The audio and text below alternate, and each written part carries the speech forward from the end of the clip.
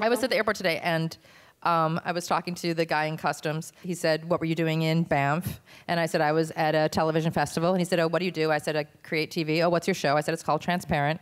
He said, What's it about? And I said, A woman whose parent comes out as transgender. And he goes, Oh, like Bruce Jenner. And I was like, yes, I talked to Bruce Jenner. I talked to Caitlyn. Yeah, the show, the show really was kind of the reason that they came out. Uh, and I was like, I'm just joking. and he's like, yeah. I'm like, I have nothing to do with that.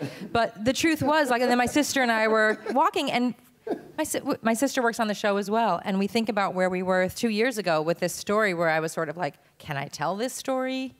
Will I be able to move through the world with people knowing that my parent is trans? And even like a little bit of shame, like it, I was kind of afraid, and my parent was afraid. And now Kim Kardashian and Khloe and Kendall and Kylie, we're all the same. we all we all have the same thing going on, and yeah, it's totally normal. It's crazy. You were With a ahead of your K, time. It's totally crazy. Yeah.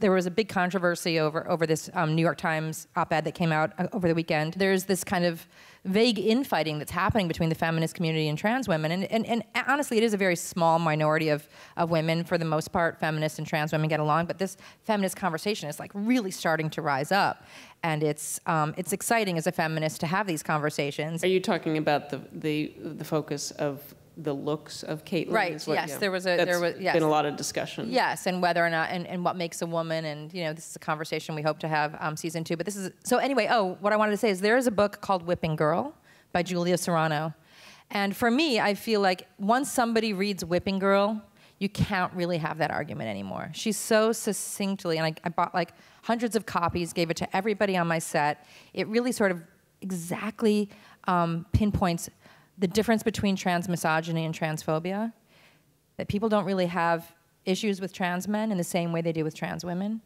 And that femininity and the presentation of femininity is sort of this kind of uh, everybody feels like they get to weigh in on whether or not somebody should or shouldn't be attractive, and it's it's about being attractive to men. That totally changed me. It completely transformed me, and it it, it, gave the show a sort of a trans feminist perspective that I hope that everybody gets a chance to read.